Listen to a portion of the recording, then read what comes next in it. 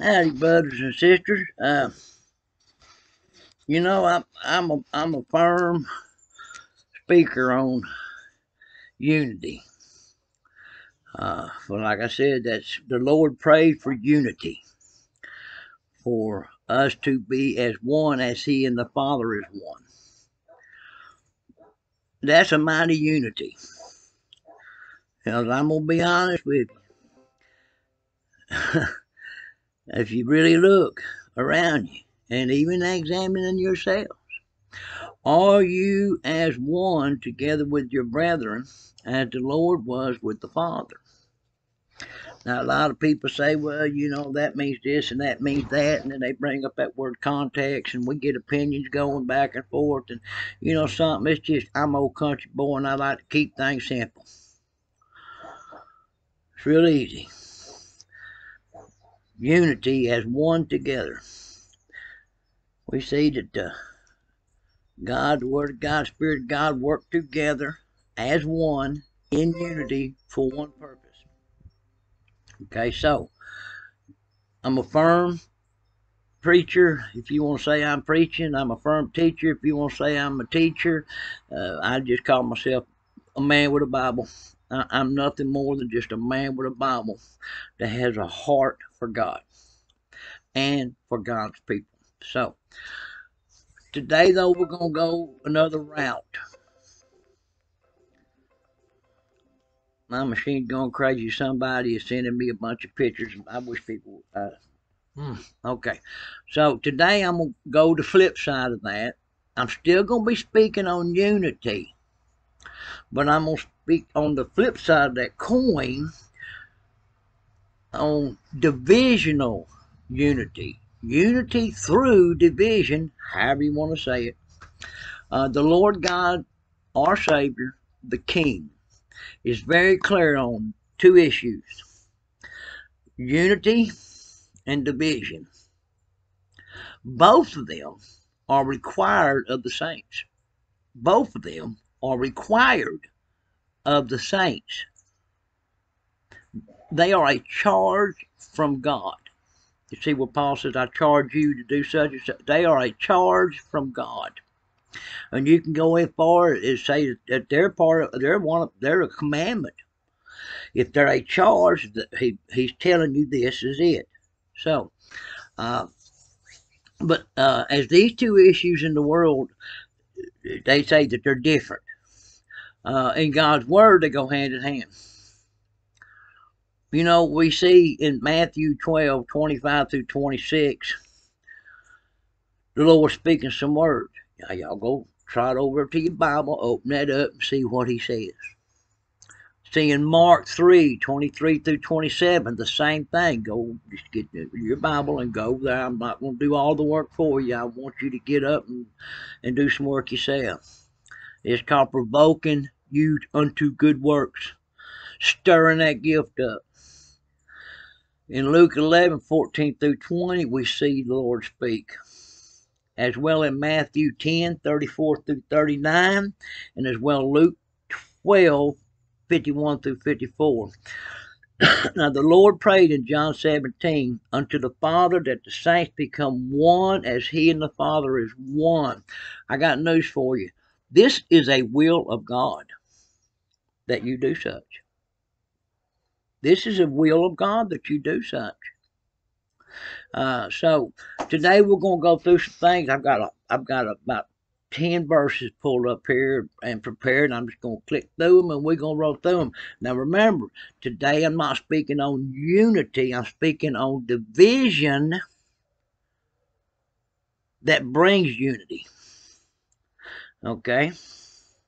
Uh, let's start off with old Proverbs. One, I like Proverbs. Everybody likes Proverbs, don't they? Proverbs thirteen twenty. He that walketh with wise shall be wise, but a companion of fools be destroyed. Translation We are not supposed to walk as the unwise or as fools. That's somewhere else in Scripture, if I remember right. I think I spoke on that not long ago. So I'm going to X that one out. Now, see, this is division.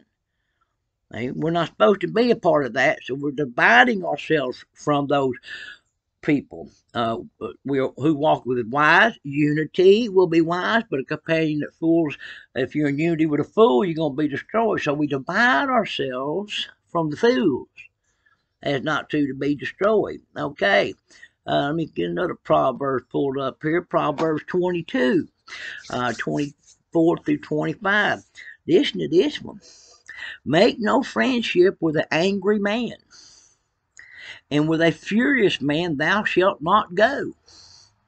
Lest, now listen, and this is why, lest thou learn his ways and get a snare to thy soul. Make no friendship with an angry man, and with a furious man thou shalt not go, lest thou learn his ways and get a snare on thy soul. Now, Let's look at this for a moment, because you know something? Our Lord and our God and our King and Savior, He got angry. He got upset at times. He got a little furious. So here we have to have some discernment on who is what and what is righteous anger. We need to understand that. We're allowed to be angry as long as we don't sin. And you know something as well? Uh, we're supposed to hate what God hates. We cannot love like God loves, like we're told to love. We cannot do such until we understand and learn also as well how to hate how God hates and what God hates. You will never love like God until you hate like God. Now you need to understand that one. Okay, uh, so let's go up here. We'll mark that one out there.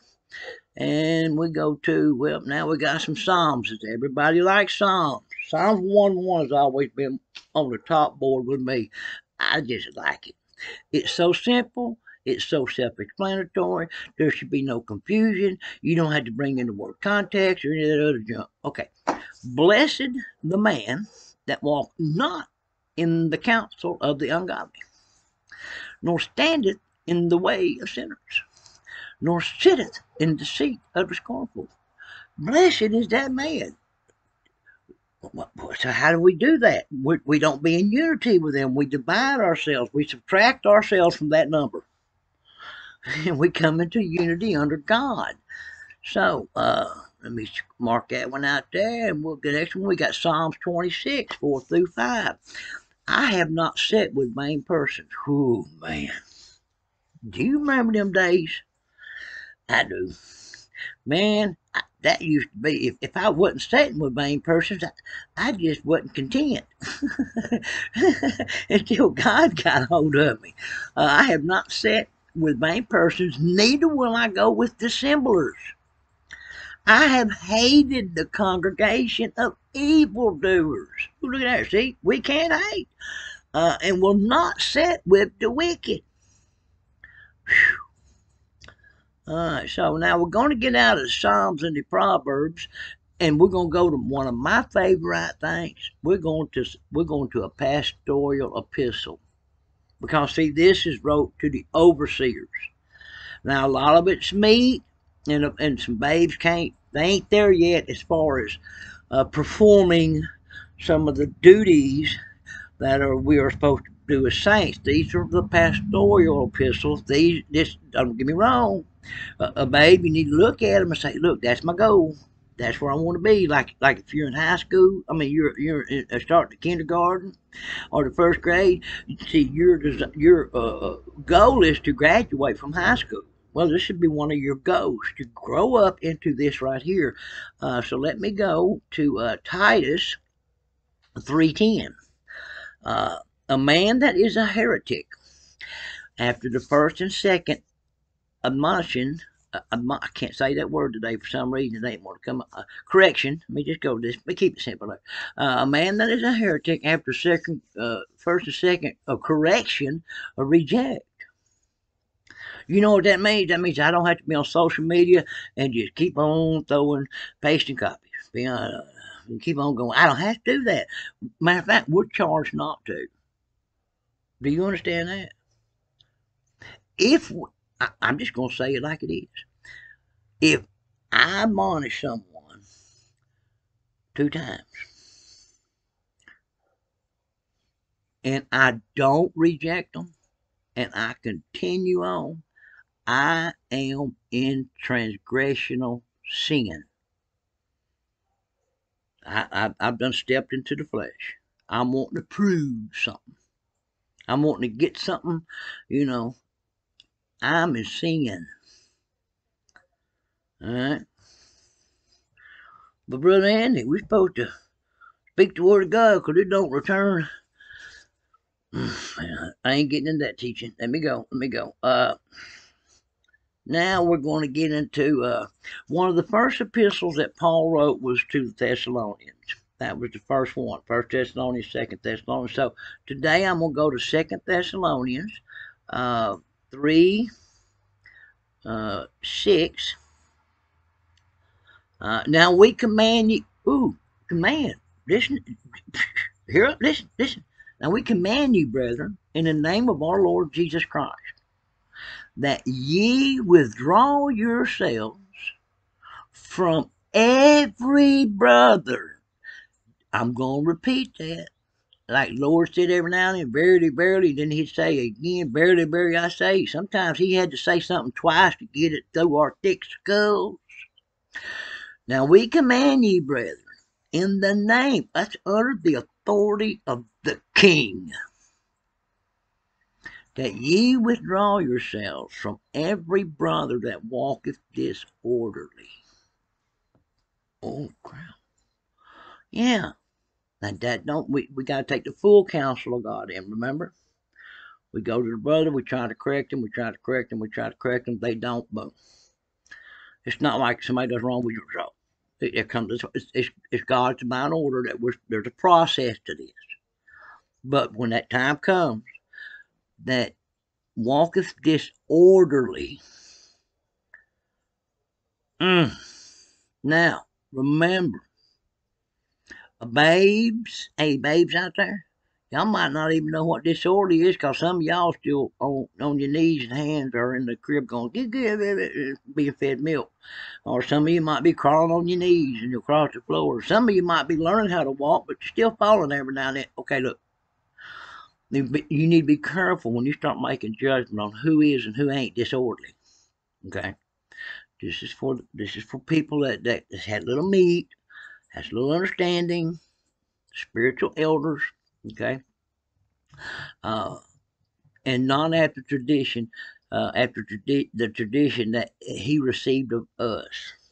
Okay, uh, see how this division this, this division keeps unity but there must be division.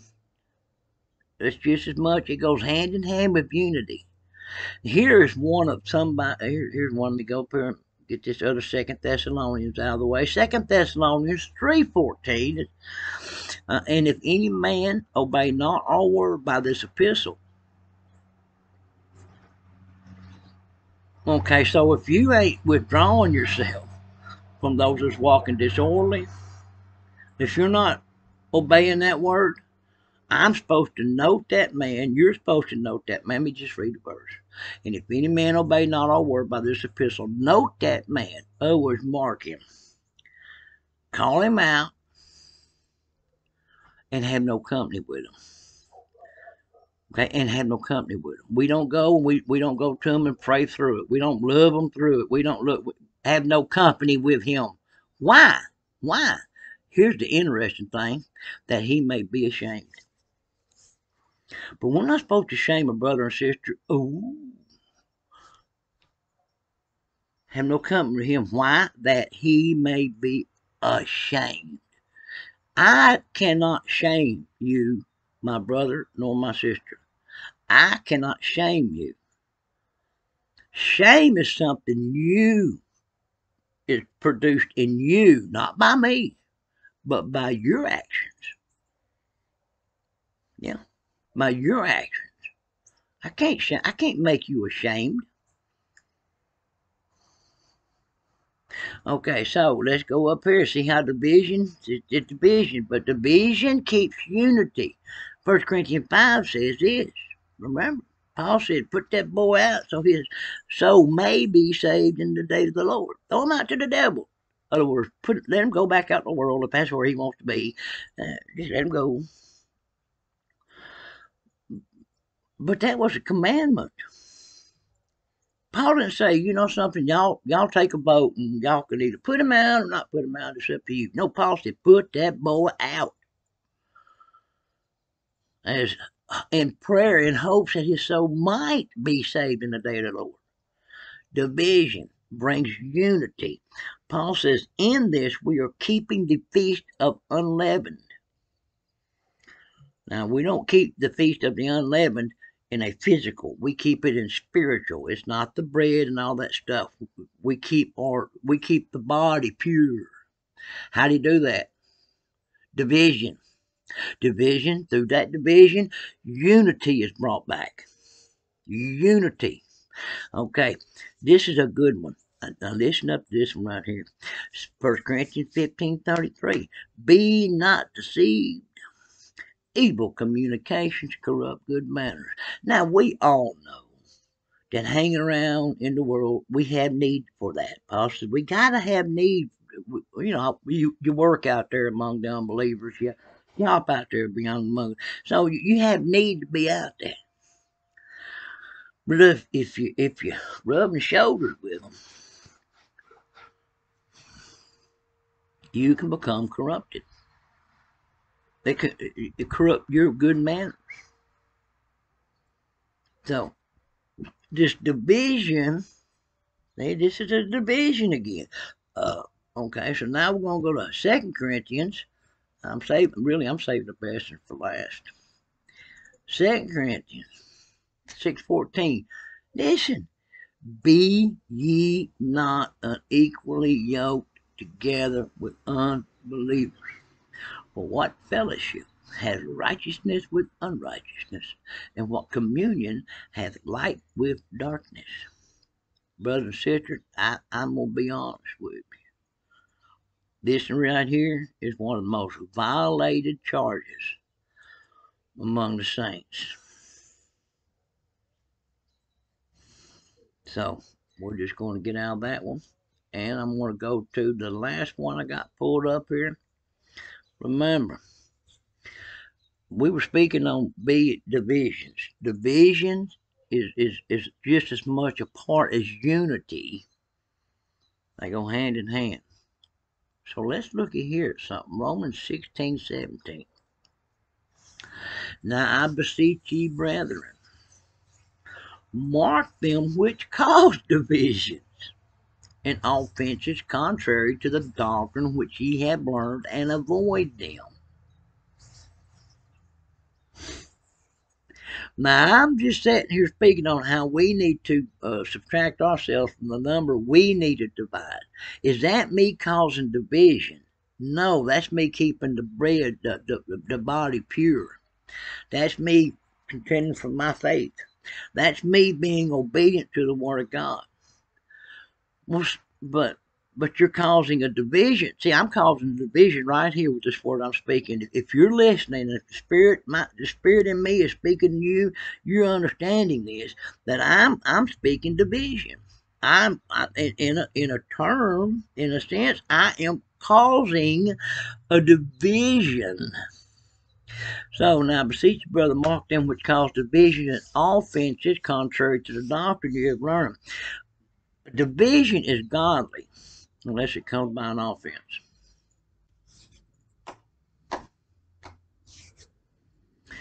Now, these are the offenses. I had a brother,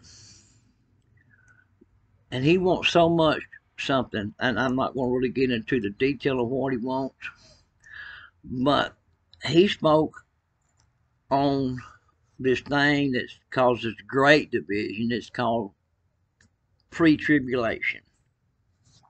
And I might have spoke on this before, and I'm going to say it again because here's where it really it stands out here as an example. Uh, and I told him, I said, look, okay, this this is how I teach the matter of, and I don't, I really don't call it pre-trib, I don't call it that because that's not the teaching. The teaching is of the catching up of the saints. That's the teaching. It ain't got nothing to do with it. Pre mid and all that ain't got nothing. To do with tribulation. It's it's really the catching up of the saints, isn't it? So I said, this is what I teach on the catching up of the saints. In Matthew 24, the Lord said, learn the parable of the fig tree. Then we go to the revelation that God says he laid the government on the back of Jesus Christ. Now nothing's hid from, from Jesus no more. There were some things that Jesus, remember Jesus said only the Father knows. Well, see now the King knows. He's got to. so God, this is a revelation that God gave to him. And it's called Revelation. If you go to Revelation 16, you'll see a whole bunch of black letters, and you'll see right in the middle there, verse 15, red. And it says, Blessed are the watchful. And it continues on with some other words. Okay, but, but that's the saints. Okay, it can't be nothing but the saints. If you say anything else, I'm sorry, you're just, you're, you're ignorant. Blessed are the watchful. He said, I'm coming as a thief in the night. Right there, right there, in, in, red letter, right in the middle of all that. Now, if you look at all that, you know something? It don't say nothing about any part of man's tribulation. See, it's not about the tribulation. It's about the time of the gathering, the catching up. It's speaking of God's wrath. So, I said, that's it. Learn the parable of the fig tree. Boom, Revelation 16. There you go. He said, well, no, that's not, we need to go more deeper. And I said, no, don't. The teaching's over. And he said, well, what about the 144? Well, see, I just had to break it off. Because personally, uh, uh, who is the 144? When I, who, that ain't got nothing to do with my salvation. That has got nothing to do with, with me. And if you read it, it tells you who the 144 is. Now, do we want to get in discussion? Was that physical? That spiritual? It, it ain't in my epistle. Paul Paul didn't say that I need to know who the 144 is. Okay? I'm just going to be honest with you. Paul didn't say nothing about if if I needed to know who the 144,000 Paul had told me. If I needed to, Paul said, okay, you need to know this, so here it is. I'm not saying ignore the revelation. What I'm saying is it's not a part of our gospel. So therefore, it, it's it, it's okay I know there's going to be 144. Why? God said it. Who are they going to be? It says 12 out of 12 times 12 times 12 is 144. So 12 out of each 12 times, there's 104. Who's it to be? That's what God said. And as far as I can teach on it, anything more than that, I put my opinion in on it. So, but he wanted to keep on and keep on and keep on and keep on. And I just told him, I can't, I, I, teaching's over. You asked me this question about the catching up. I guided you to the scriptures. Teaching's over. Oh, no, no. There's more to it than that. No, there's not. See, there's some people out there that want to just keep going back and forth so they can show how much doctrine, how much scripture they know. Excuse me. Because it's not doctrine they know. How much scripture they know. Back and forth, back and forth, back and forth, back and forth, back and forth. I'll tell you this I've said it before and I say it again and I say it again and again and again because I'm like Peter on this.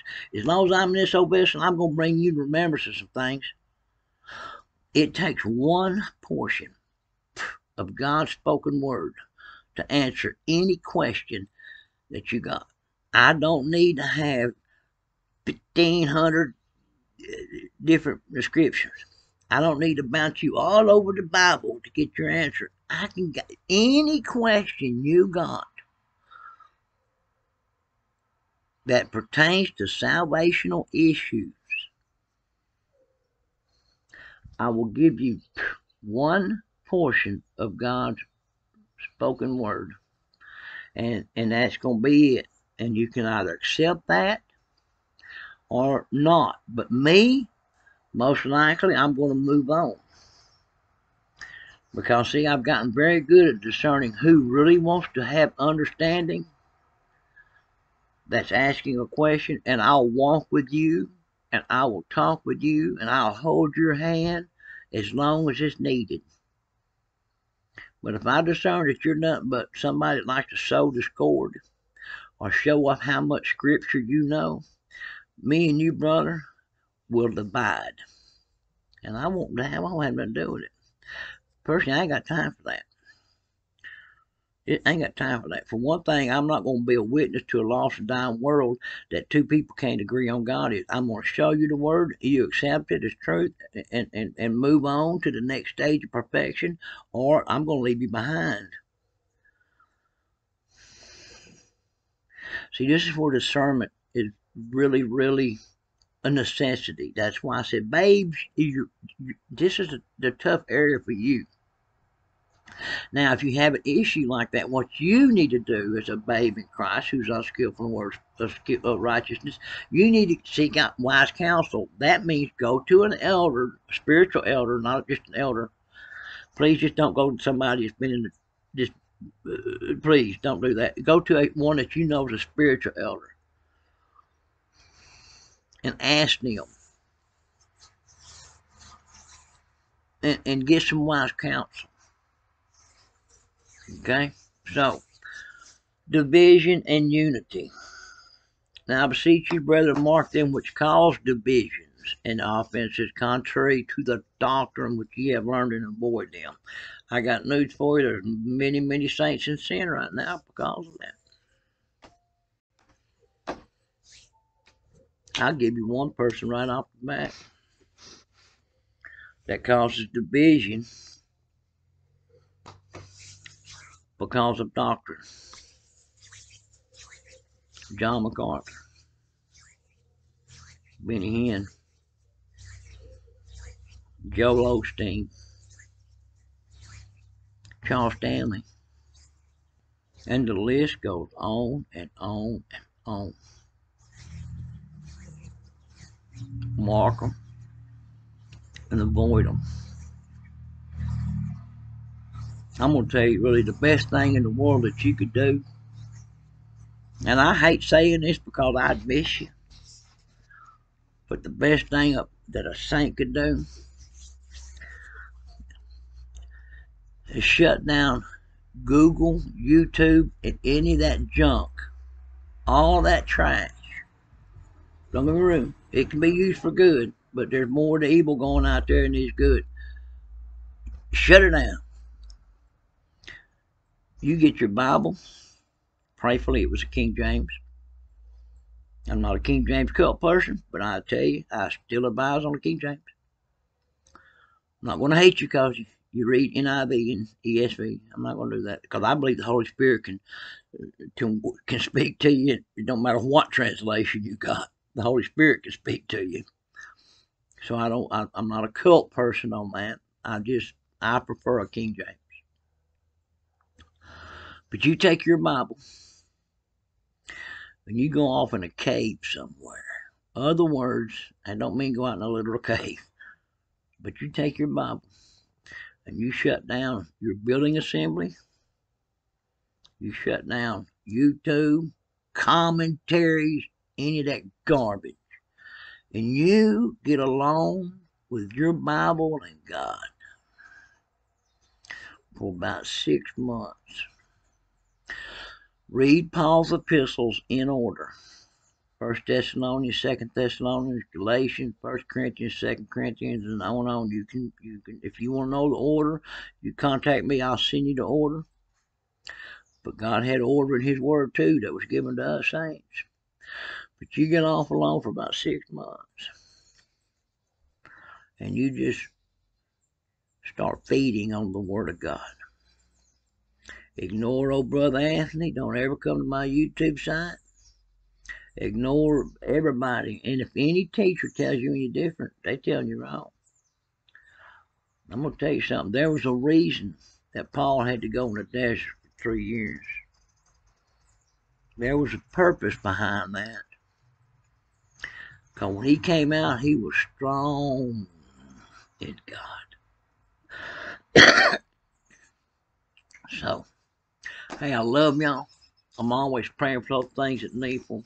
And remember, God, one of God, part of God's will is the unity. Cause see, there's going to be a church that the gates of hell can't, that won't prevail over. But right now, uh, the gates of hell is doing a pretty good job on some saints. But the final product The gates of hell can't come over. It's going to be there. It's a done deal. The church, the church is going to be there. The gates of hell can't stop what's fixing to come. But I guarantee you one thing: they're going to steal, kill, and destroy as many of the saints as they can.